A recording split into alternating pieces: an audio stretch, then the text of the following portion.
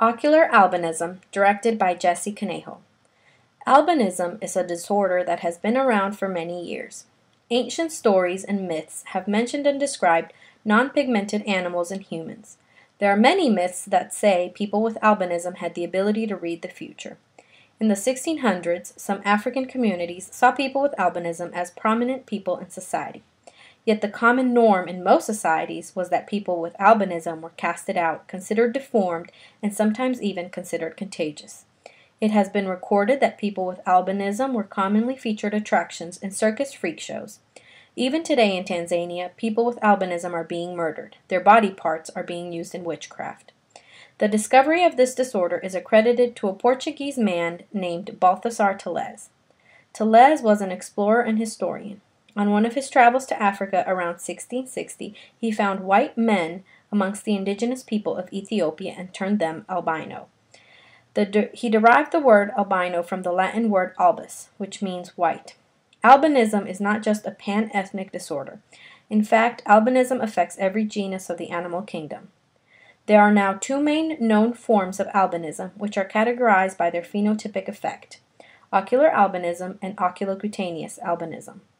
Ocular albinism, which is also known as the Nettleship Fall syndrome, is the most common form of albinism. It occurs in one out of every 50,000 humans and it accounts for 10% of all forms of albinism. This large amount of people with ocular albinism is due to people passing down the gene. Ocular albinism is inherited in an X-linked autosomal recessive manner. The main phenotypic characteristic of ocular albinism are iris transillumination and little to no loss of pigmentation in the skin and hair. Some people with ocular albinism may even have completely black hair and dark skin.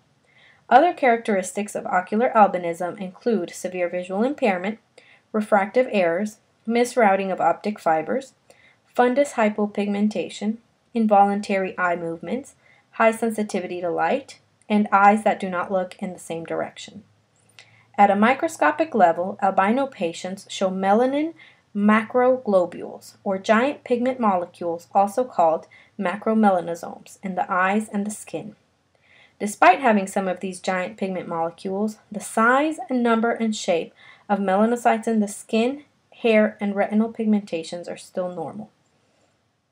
Genetically, the main cause of ocular albinism is due to mutations in the GPR143 gene, which is also known as the OA1 gene. Ocular albinism genetically differs to oculocutaneous albinism because oculocutaneous albinism is mainly attributed to tyrosinase problems. The OA1 gene's loci is XP22.3 to 22.2. The OA1 gene is about 40 kb long and is organized into nine exons. The OA1 gene encodes specifically for a G protein coupled receptor of 404 amino acids long abbreviated GPCR. This GPCR, encoded by the OA1 gene, is only expressed in retinal and skin epithelium cells, and it controls the number and size of melanosomes produced. A specific ligand for the OA1 protein has not been identified. How the OA1 protein functions in healthy and ocular albino people is still unknown and under extensive research. There is not one specific mutation or specific combination of mutations in the OA1 gene that causes ocular albinism.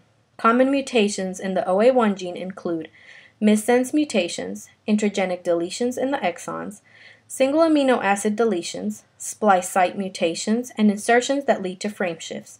There have also been some mutations which cause premature stop codons due to deletions in the exons, which severely alter the structure and function of the OA1 protein. Although the main cause of ocular albinism is due to mutations in the OA1 gene, in some cases no mutations are found. Although it is not clear as to why not all ocular albino patients show mutations in the OA1 gene, scientists have led to believe that possible mutations outside of the coding region or in the non-coding region of the OA1 gene could attribute to ocular albinism as well. There are currently no treatments available that cure ocular albinism. There are tests in which parents that are potential carriers of the disease can have. A prenatal diagnosis of their male fetus can be done if they believe it has a 50% risk of having ocular albinism. Some parents who believe ocular albinism is a great burden will terminate the fetus and prevent passing down of the disease to other generations. Most, on the other hand, see the disability caused by ocular albinism not to be such a burden and will not even seek out the testing. Depending on the severity of the disease, people with ocular albinism can undergo surgeries available to correct some of the ocular defects that arise. There are some treatments under current research that may be available in the future.